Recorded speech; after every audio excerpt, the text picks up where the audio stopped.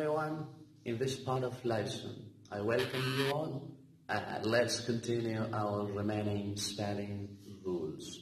As you know, we had talked about first 20 major spelling rules in first three videos. So today, let's jump ahead. 21. When the sound of E is after C, then A comes before E. This is somehow contrary to Rule 20.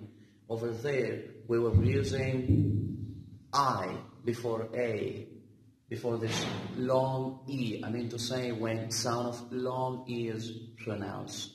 However, here we use A uh, before I. Examples, perceive, perceive. So after C, we're having voice of long E. So here we use A before I. That's to be noted.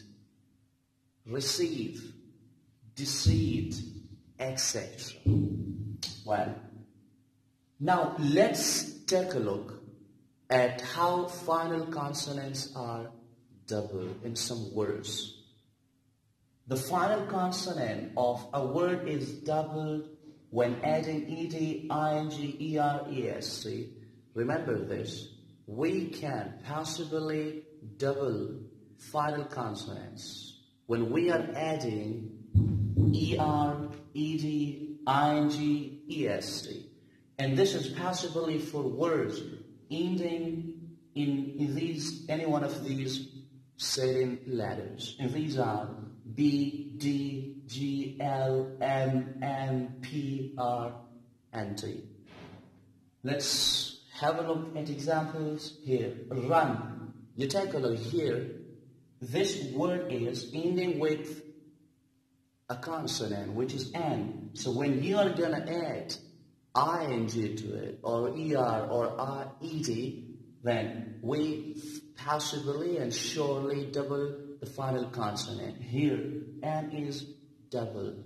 Why? Because here, ing is added to it. So here, it becomes, run becomes running. Here, swim. You take a look, this word is ending in a certain letter, which is M. So when you add a suffix to it, which is probably the ing, so it becomes swimming. Single A becomes double. Big, have a look here. Big is ending in G.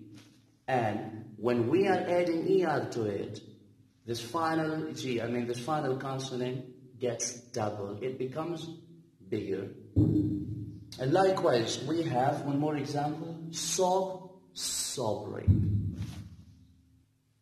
23. The final letter is added when, excuse me, the final letter is doubled when adding ER in the following pattern.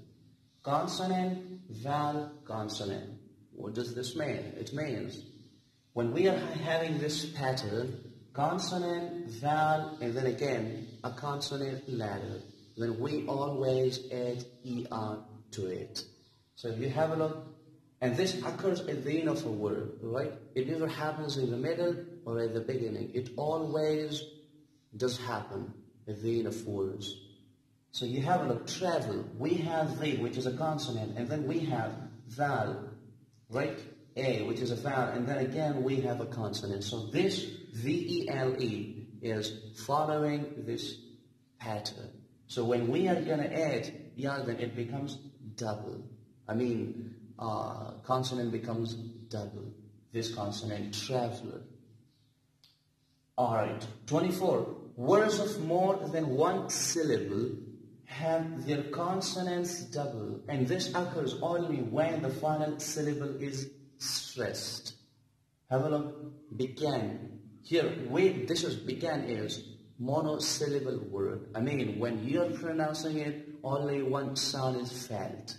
So when you're going to add a suffix to it, ing to it, then we always double the last consonant, which is pronounced with stress. So you just feel it, began, and is having stress and it possesses stress.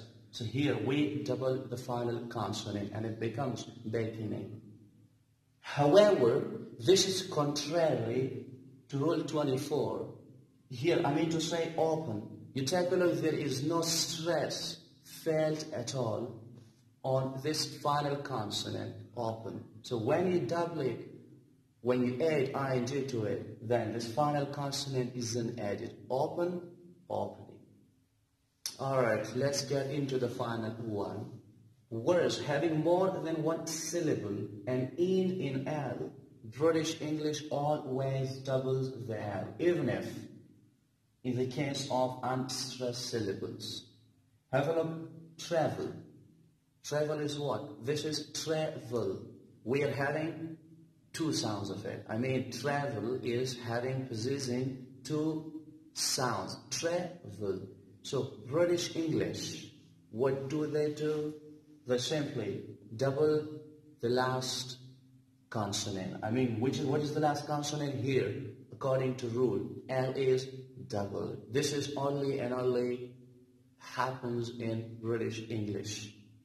However, this is, in American English, this is not double. We are having only single L. L isn't double. So it was all about uh, today's lesson and we will continue uh, our remaining grammar spelling rules in our next video. Hope it helps you and yeah, let me tell you uh, something regarding this lesson. It's been quite lengthy, quite strenuous and heavy, uh, but this is one of the significant topics that every English learner has to know because when you're going to write an essay, a paragraph or or a composition, then you must spell words properly and accurately. Because if you if you're not aware of it, if you're not spelling properly and correctly, then it does cut a sorry figure and it leads to a lot of frustration. You won't you won't get good result. So thank you for watching and do subscribe my YouTube channel to get more and more videos. Good luck with your grammar.